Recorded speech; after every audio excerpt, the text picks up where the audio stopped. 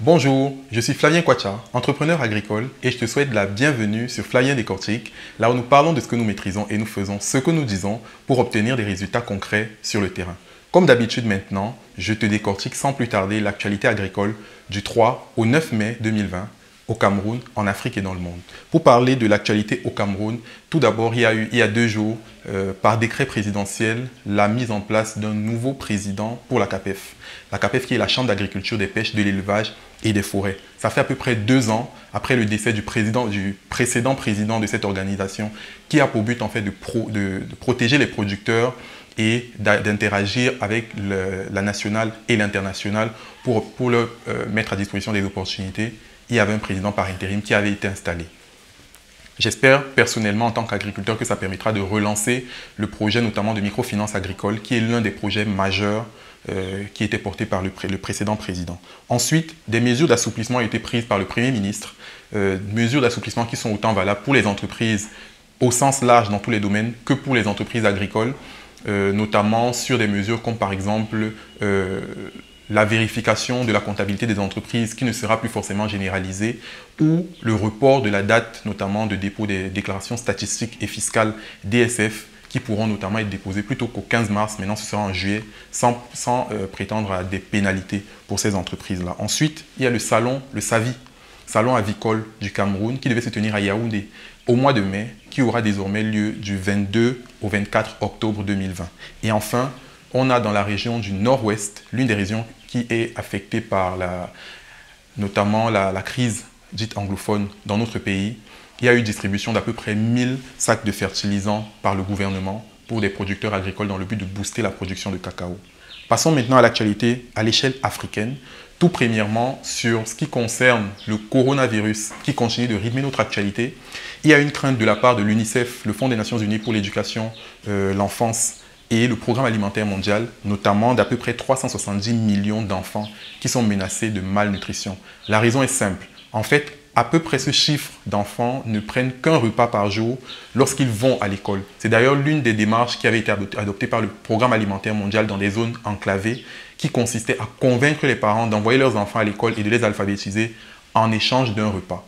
Donc vu qu'actuellement les écoles sont fermées, il y a un risque de, de malnutrition ou de mauvaise alimentation pour ces enfants-là. En Afrique du Sud et au Nigeria, comme dans de nombreux autres pays africains, il y a, eu, un progressif déconfinement. Euh, mais le constat est que ça crée des émeutes de la faim. En fait, parce que euh, les gens qui ont été notamment confinés n'arrivent pas à tenir, n'ont pas les ressources suffisantes. Il y a, d'ailleurs eu euh, reprise des activités agricoles, mais cela n'empêche pas ces mauvaises occurrences d'avoir lieu.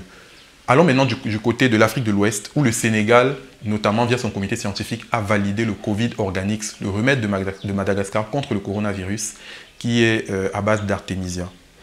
Au Maroc et dans d'autres pays, notamment comme le Cameroun, Ouganda, Kenya, Tanzanie, euh, on est plutôt à l'heure de la formation dans la mesure où OCP, l'un des plus grands groupes d'agriculture biologique en Afrique, lance un projet de formation pour à peu près 2000 exploitants dans 16 communes. L'idée est de vulgariser des pratiques agricoles durables pour leur permettre notamment de tenir et d'implémenter ces nouvelles pratiques après la période coronavirus. Et dans les autres pays mentionnés, en Afrique de l'Est et en Afrique centrale, une association dénommée, euh, dénommée, Trees for the Future a lancé un projet, notamment euh, Jardin forestier, qui consiste justement à promulguer des nouvelles techniques pour permettre de protéger les sols en optimisant les, rendements agricoles. Ça permettra justement aux agriculteurs de continuer de travailler, mais en tenant compte de notre environnement dans ce qu'ils font. Allons maintenant à l'échelle mondiale.